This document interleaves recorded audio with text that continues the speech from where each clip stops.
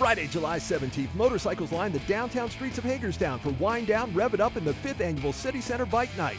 Come experience four blocks filled with hundreds of cycles and all types of motorcycle vendors. Motorcycle show with prizes, the roller vixens, and children's entertainment. Enjoy great live music by River Knot, in addition to delicious food and cold beverages inside and out.